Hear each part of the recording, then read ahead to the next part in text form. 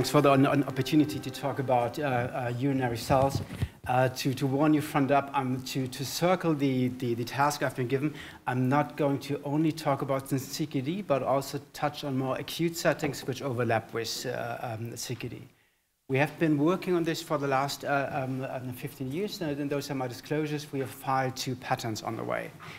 And I understand we are a somewhat diverse audience, so I'm going to start off with framing the, the uh, clinical problem to have everyone on board. And to frame the clinical problem, I brought you Clarice, and Clarice has, has his kidney disease, and the doctor is noting that their kidneys are getting worse. And what we usually would now do is, is a renal biopsy to, to find out what's really going on.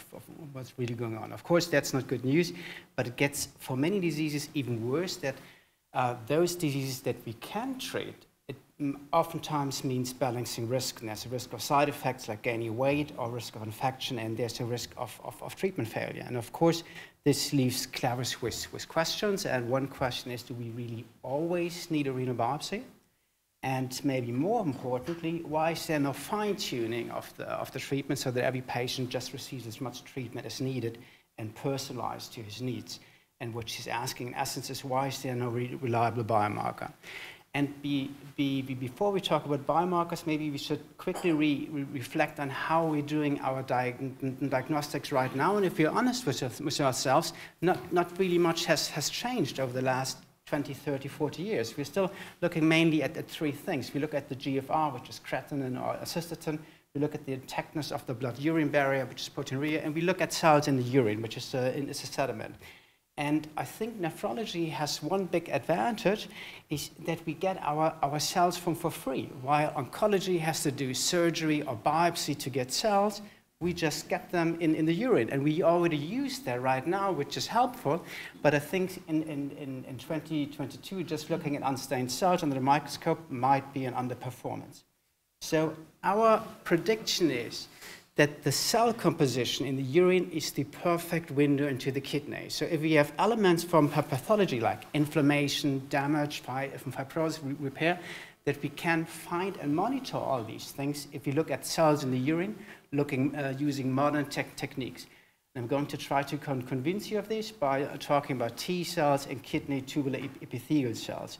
And if we, are, if are still doubting whether this is worthwhile, we at, uh, as we all are in Berlin, we have to give some credit to um, Rudolf Virchow, which is one of the most famous uh, Berlin-based doctors, and he was the founder of, founder of the concept of cellular pathology, which in, in essence says diseases are, are made of cells. So maybe if you look at cells, this would bring us further. So I'm going to first talk about T cells, as a marker for in, in inflammation. And maybe it's good to start off doing that by using a very inflammatory renal disease as an example to get started. So this is what we did, and we first um, have started doing this by looking at patients with lupus and, and nephritis. And we just looked at a cohort of patients with lupus, and, and here you see the amount of T cells in the urine. Here, disease, uh, the, the, disease activity is given as a score, and then the SLEDAI. And as a rough estimate, a SLEDAI of more than 10 is an active lupus. And now the black dots are patients with past or present renal involvement. If there's no disease activity, there's no T cells. Once they get active, they have T cells in the urine. The boxes are patients without renal involvement. So regardless of disease activity, there's no T cells in the urine. And if you compare this to the gold standard, which is obviously the, the, the, kidney biopsy, you see that all patients with proliferative lupus nephritis or, nephritis, or if you want inflammatory nephritis, have elevated T cells when the others don't. So, and this gave us a fantastic biomarker performance and a black and white answer whether a given patient has active inflammation in the kidney.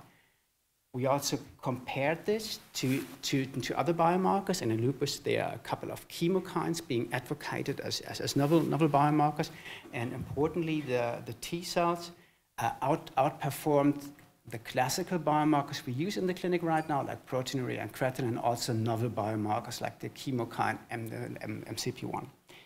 You can also use this in the follow-up and look whether patients with active lupus respond to an induction treatment. If you do that, you see two groups. One group of patients which normalizes their cells pretty quickly, and one group of patients which has persistent of cells at even increasing amounts, and the normalizers respond with lowering with, of the disease activity under induction treatment, while the non-normalizers don't, and the normalizers also have a better creatinine in increment uh, during induction treatment. Of course, counting T cells sounds great, but maybe we can even do even more if we look further in the, into the phenotype. So we did a, did a, broader analysis of the, of the immune cells in blood and urine. And uh, kind of as expected, the cells in the urine are mostly of the effector memory phenotype. Those are the cells in the blood, and those are the in, in, in the urine, which, which kind of makes sense. This is an active inflammation. Now, but if you look, there are some patients with very high frequencies of effector memory and some are rather low. And we compared this to the outcome and the, and the, measurement was made at the time of doing the, uh, the diagnosis, we could see those with lower amounts of effector memory T cells all achieved a complete response six months later, while those with high amounts didn't. So this could help us pre predict the outcome. This is at present just exploratory data, but we are currently running a prospective trial to um, confirm this. Uh, what about other inflammatory renal diseases? We've done this in lupus and ANCA vasculitis and renal transplant re rejection. Lupus, there's three independent cohorts by us and others. It's always a fantastic biomarker performance. Similar in ANCA, two independent cohorts also been doing very well. In renal transplant rejection, two cohorts, not quite as well, but as a biomarker, still a very good performance with an area under the ROC curve of 0.9 and 0.88. And importantly, in all settings, the T cells outperformed our classical biomarkers like proteinuria, creatinine, and sediment, and also novel biomarkers like MCP1 and uh, soluble um, CD163. Now, if you looked have closely, you might have noted the, uh, the following thing, that there are some patients with inactive disease which have mildly elevated T cells. Now, what, what might, might, might that mean? And we speculated whether this may put them at risk for future relapse. And we first looked at this retrospectively at all the inactive patients that we analyzed over the last years and saw all patients which later on suffered a relapse had elevated T cells. Not everyone with elevated T cells did, but this identified patients at risk, and this is when the relapses happened. This, of course, is just retrospective data. So we recently uh, designed a prospective trial on this in two, two hospitals and three ANCA clinics, and included 112 ANCA patients with inactive disease, had to exclude 10 patients in the end, analyzed 102, of which 10 suffered a renal relapse in the subsequent uh, six months and 90, 90 stayed in stable remission. And what we saw, those who subsequently relapsed had higher T cells, while those who, um, compared to those who stayed in stable remission. And if we again compare this to other biomarkers which are advocated to predict relapses like proteinuria, sediment, ANCA the T cells again outperform the other markers. And this is the, the relapse-free survival, if you want. Those are the ones with elevated T cells, and they have a significant risk of, uh, of, of relapse, while those don't. Okay, so much about, about T cells, but obviously most of us are interested in, uh, in the kidney, so we also try to establish uh, um, a marker panel to, to um, assess kidney tubular epithelial cells in the kidney. And this is our, our staining panel. We stain for cytokeratin and a couple of markers. This is how the cells look like. If you sort them out, and they indeed look like tubular epithelial cells, you can even do electron microscopy on them and see that most of these cells are dead, some are, some are living. And importantly, this, the staining panel does not stain cells from the lower urogenital tract, so it's spe uh, specific for kidney cells.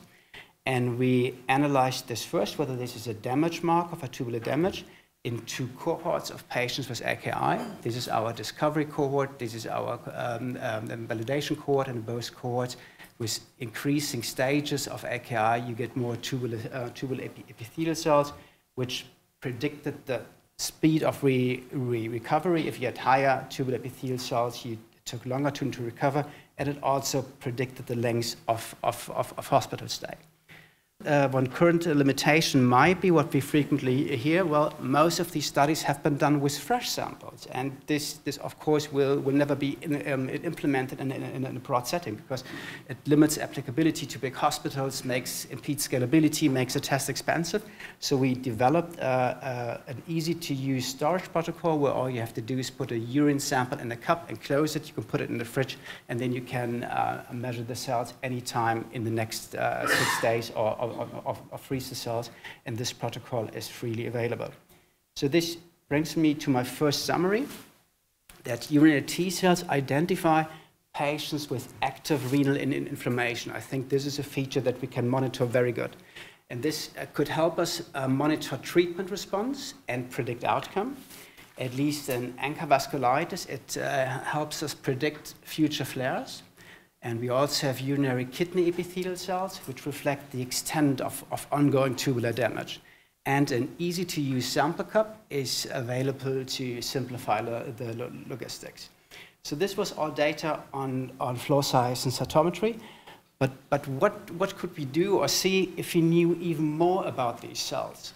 And obviously, the, the best uh, technique, if you want to do a deep phenotyping nowadays, is single cell uh, sequencing of, of cells. And we, we um, set up a single cell sequencing pipeline and analyzed uh, 32 patients with AKI, 40 fresh uh, urine samples, pre-sorted them with flow cytometry, and did single cell uh, sequencing. And this is one of my favorite slides at, at, the moment because it for the first time shows us which cells are in the urine in, in AKI. Most of you are probably uh, uh, accustomed to, to looking at these UMAPs and t-SNEs. And what it says, each colored cloud is one kind of cell. And we have podocytes in the urine. I was, I was actually doubting that, but there's podocytes in the urine. Then there's a large, a large population of, of tubular epithelial cells. There's immune sites like monocytes, monocytes macrophages, there's T cells, and there are some contaminating uro, urogenital cells. And if we just look at the tubular epithelial cells, we find some clusters of pretty healthy, normal-looking kidney cells. And this is color-coded. We find cells from the glomerulum, from the proximal tubulus, from the distal tubulus, and from the collecting duct. But the major part of the tubular epithelial cells in the urine is altered. They show features of inflammation and tissue rearrangement. Those just look damaged and frankly dying. There's a small island of proliferating cells, and these cells down here, at least if we compare their, their gene expression to, to other data sets, it looks like stem cell-like cells, and they have features of cells of re, uh, regeneration. And one question that we, that we always get, this is interesting, but how similar are the cells in the urine to the cells in the kidney? And to answer this, we've, uh, we've compared the cells from the urine to, uh, to kidney biopsies. Those were post-mortem kidney biopsies from AKI patients. So it's, it's, it's not the same patient, patients, but it's the same disease. And you can see the respective cell types, like podocytes, here's the tubular epithelial cells and immune cells, they correlate quite well. Not perfectly, but, but very closely, the phenotype in the urine to the phenotype in, in the kidney. However, if you look at, at urine, there's two biases. Now, this is the biopsy data, this is the urine data. First, if you look at where are the cells coming from? In the, in the biopsy, you find lots of proximal tubular epithelial cells, loop of Henle cells, and some collecting duct cells. The urine also has proximal epithelial cells, but it's enriched for cells coming from the distal segment. And also, if you look at the, at the cell state and just roughly divide it in healthy and injured, you see in the biopsy there's lots of healthy looking cells, some injured. In urine, we also find healthy looking cells, but most cells are injured. So urine is biased in two ways, by the cell origin and by the cell state.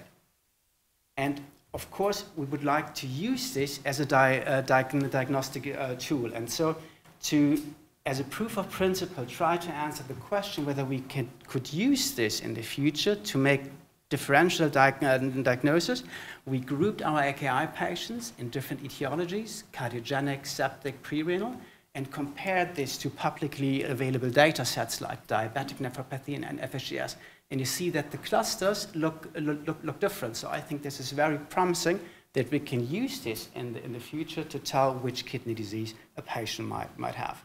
So this is my, my second summary. Single cell sequencing in urine is feasible. Urinary cells uh, contain unaltered as well as, as altered cells, and it's rich for cells of distant origin as well as altered damaged cells. And we might use this, uh, may be able to use this to differentiate different disease entities. And how could, we, could all this be used now and in the future? I think urinary flow cytometry is pretty close to being applicable in, in the clinic. I think we can use it to monitor the the inflammatory disease or the inflammatory component of, of diseases and guide treatment. We can monitor tubular damage. I think this will not be an, uh, an, an, a substitute for, for biopsy, except maybe in selected cases where we don't want a biopsy anyway, that we will be able to exclude active inflammation.